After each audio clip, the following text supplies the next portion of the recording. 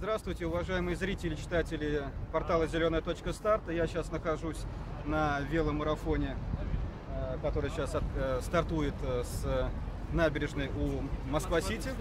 И здесь проходит первая официальная презентация первых трех моделей электромобилей компании «Эволют». О машинах компании «Эволют» нам сейчас расскажет Василий Чеботарев, руководитель специальных проектов компании Мотор Инвест. Мы рады видеть ваши автомобили.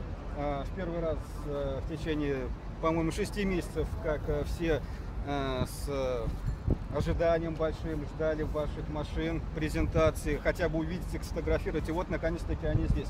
Расскажите про ваши автомобили, про вот эти три модели, которые здесь находятся.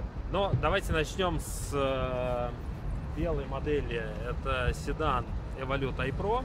Это седан C-класса. А, Колесная база 2.7, там батарея 53 киловатта и электродвигатель мощностью 163 лошадиные силы.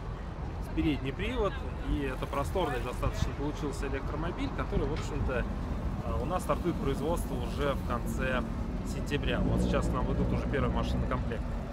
А далее справа, слева вернее от вас, это у нас компактный кроссовер Evolute iJoy. А, тоже 53 киловаттная батарея. А, здесь чуть более мощный двигатель мощностью 176 лошадиных сил.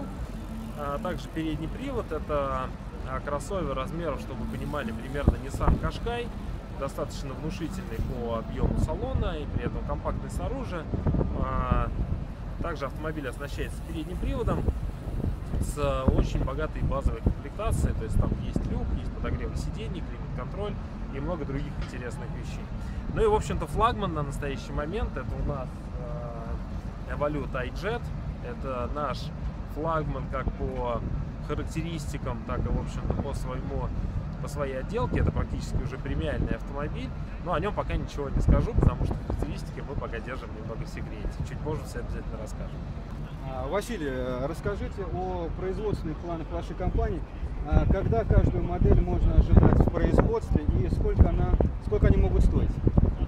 По цене ничего пока не скажу, ожидайте. А, iPro а, стоимость, э, стоимость начало производства конец сентября. А, iJoy красный конец производства тоже конец сентября. И Jet это скорее всего первый квартал 2023 года.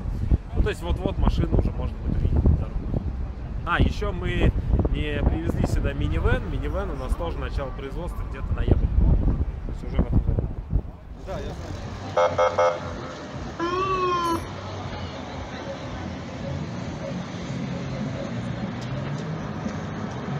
Bye-bye.